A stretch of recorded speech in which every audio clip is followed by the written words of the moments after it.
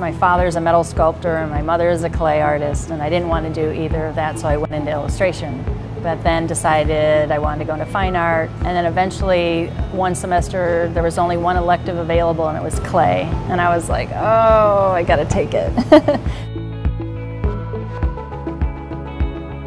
I started with Judith and Bill here and throwing pots. And eventually, work started getting more sculptural, and then I got excited about clay. In the studio, I am always working on many pieces, so I have large, bigger than life size figurative sculptures going on. And then at the same time, I work on the small wall pieces.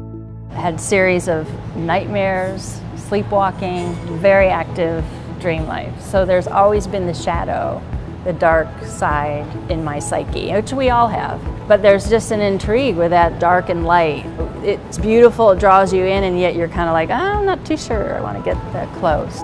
And then imagery, monkeys, I use them. Sometimes they're playful, sometimes they're scary, mischievous. You know, the, the sheep represented the female, more introspective, whereas the goat's kind of this wild male energy. and. So certain animals represent certain things. Then I realized, oh, I can dip fabric, and whoa, it worked, and the metal, and, and I'm still doing new things. Even right now, I'm doing stuff in the studio that I've never done before.